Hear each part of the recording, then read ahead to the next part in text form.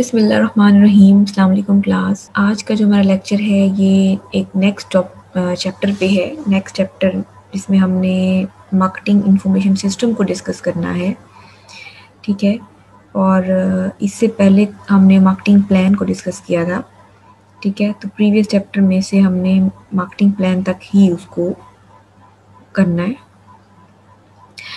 आज हम डिस्कस करते हैं कि marketing information system M I S क्या होता है? देखें, अभी हमारा जो कोर्स है, वो है marketing management marketing and management ठीक है?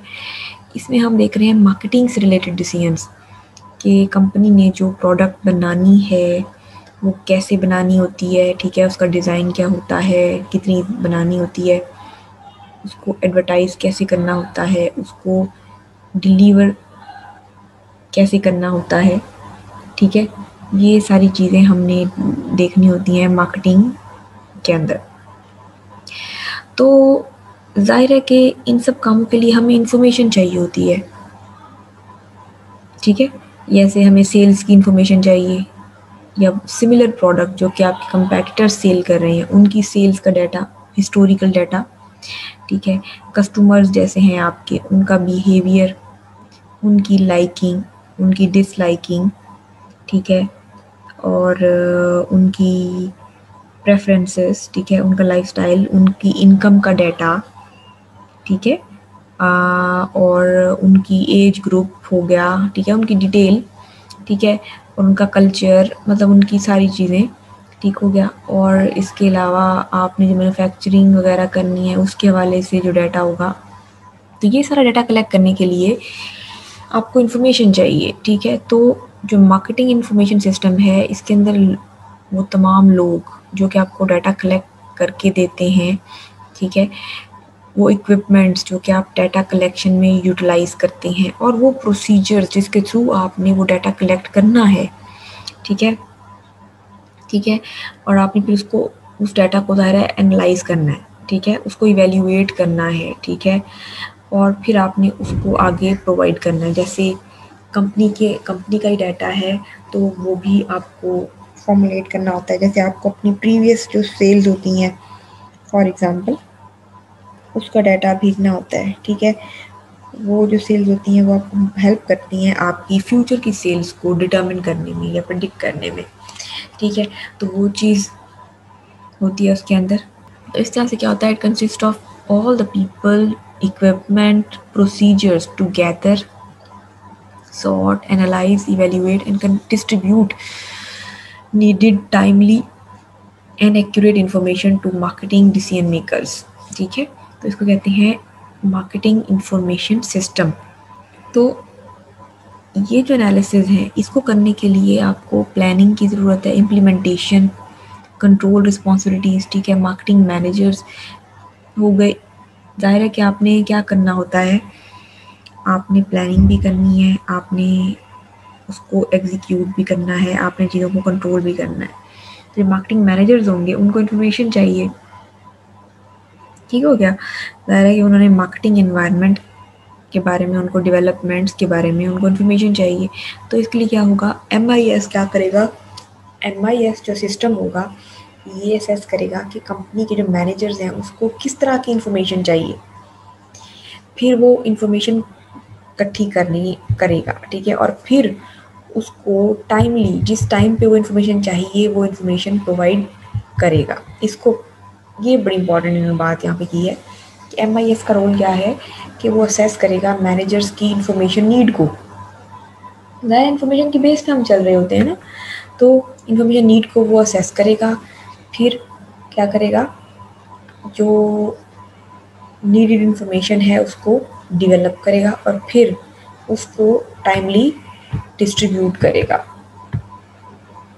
ठीक है? इंटरनल कंपनी के जो रिकॉर्ड्स हैं, जैसे उसमें से भी इंफॉर्मेशन इकट्ठी कर ली जाएगी, ठीक है? मार्केटिंग इंटेलिजेंस एक्टिविटीज़ से मार्केटिंग रिसर्च से marketing decision support analysis different चीज़ें हैं डिफरेंट सोर्सेज होंगे जिसके थ्रू इंफॉर्मेशन जो है वो कलेक्ट कर ली जाएगी। अच्छा जी, अब इसमें हमारे पास ना जैसे पहला सोर्स है इंटरनल कंपनी रिकॉर्ड्स ठीक है? तो मार्केटिंग मैनेजर जो है वो इंटरनल रिपोर्ट्स जो होंगी कंपनी की, उन पे डिपेंड करेंगे।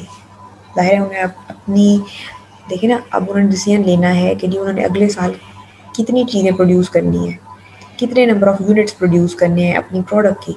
तो ये इसके लिए उनको डाटा चाहिए होगा, अपनी ही कंपनी की सेल्स जो प्रीवियस सेल्स होंगी हिस्टोरिकल सेल्स होंगी, उनका डाटा चाहिए होगा।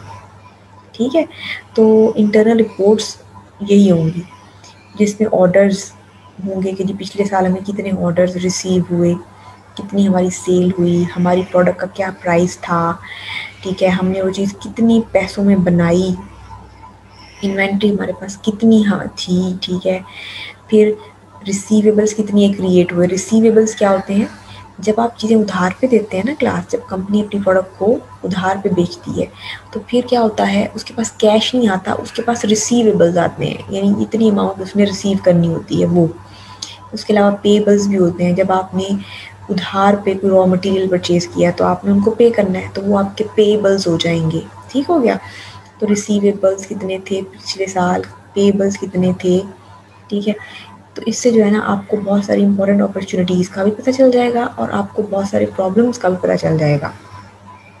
ठीक है? देखिए ना हर साल के आपको रिसीवेबल्स का पता चलेगा। रिसीवेबल जो होते हैं ना, जब आप जब आप उधार पे अपनी प्रोडक्ट सेल करते हैं तो उसमें क्या होता है?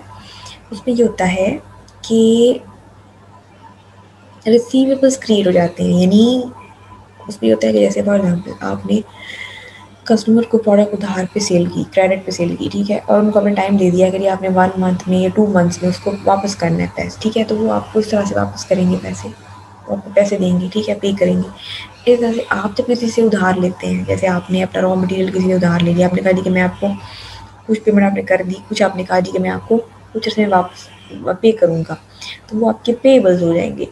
तो ये सारी चीज़ें आपको जो है ना इंटरनल रिपोर्ट से पता चलती हैं। आपकी अपनी कंपनी की जो परफॉर्मेंस होती है और उसका जो प्रीवियस हिस्ट्री होती है, वहाँ से ये चीज़ें हमें पता चलती हैं। ठीक हो गया? अच्छा जी तो अब कहते हैं जो इंटरनल रिकॉर्ड्स का जो सबसे इम्पोर्टेंट रिकॉर्ड होता है, उसको कहते हैं order to payment cycle order to payment यानी सेल्स रिप्रेजेंटेटिव्स हैं, जैसे डीलर्स हैं customer dispatch the orders to the firm the sales department prepares invoices and transmits copies to various departments यानी क्या होता है? वो ये बता रहे हैं कि जब कंपनी की प्रोडक्ट सेल होती है ना, लोग कस्टमर जो है वो ऑर्डर करते हैं ना कि हमें ये प्रोडक्ट चाहिए। ठीक है? तो क्या होता है कि जो सेल्स डिपार्टमेंट्स होते हैं, वो क्या करते हैं? सेल्स डिपार्टमेंट को पता होगा कि ये हमारी इतनी प्रोडक्ट चली गई हैं, ये इतना का ऑर्डर आ गया है, ठीक है? ठीक हो गया। तो ऑर्डर टू पेमेंट साइकिल होता है। यानी क्या होता है कि किस टाइम आपके पास, यानी मैं कंपनी के पॉइंट ऑफ़ व्यू से बता रही हूँ class order to payment cycle में क्या होगा? किस टाइम आपके पास ऑर्डर आया? आपको पता है कि ये डेट है। और फिर आपको किस टाइम उसकी पेमेंट रिसीव हुई? ठीक है? तो यहाँ तक का जो आपका ये सफ़र है, ठीक है? इसको कह रहे हैं ऑर्डर टू पेमेंट साइकिल तो जो कंपनी के सेल्स रिप्रेजेंटेटिव वगैरह होंगे, ठीक है? वो क्या करते हैं? वो ऑर्डर लेके आते हैं। उनके पास ऑर्डर आएँगे, ठीक है? वो कस्टमर जो है वो ऑर्डर देते हैं कंपनी को, ठीक है? कंपनी के पास ऑर्डर आ गया कि हमें इतनी प्रोडक्ट चाहिए। सेल्स डिपार्टमेंट जो है वो क्या करेगा? उसने ये ऑर्डर की जो इन्फॉर्मेशन है, ये तमाम अदर डिपार्टमेंट्स को देनी है और इनवॉइसेस जो है वो तैयार करने हैं। जो आइटम्स आउट ऑफ़ स्टॉक्स होंगे, ठीक है, उनको दोबारा ऑर्डर कर दिया जाएगा। Shipped items are accompanied by shipping and billing documents that are send to various departments यानी ज़ाहिर है, क्या होता है कि कंपनी पास ऑर्डर आते हैं कंपनी फ़ौरन ही उन्हें क्या करती है प्रोडक्ट को उनकी इन्वाइसिस बना के, ठीक है ना पेमेंट की जो होती हैं और अपनी प्रोडक्ट जो है ना, वो डिलीवर कर देती है। ठीक हो गया? वो कहते हैं कि आजकल के दौर में उन कंपनीज़ को पसंद किया जाता है कि जो क्विकली और बड़ी ही एक्यूरेटली क्या करती हैं, ये परफॉर्मेंस देती हैं। यानी आप ऑर्डर करें और आपको विद इन टाइम डिलीवरी मिल जाए। ये चीज़ बड़ी इंपॉर्टेंट है आजकल के दौर में। ठीक है? वो क्या होता है कस्टमर ज़्यादा आजकल ऑनलाइन भी ऑर्डर्स कर देते हैं, ठीक हो गया?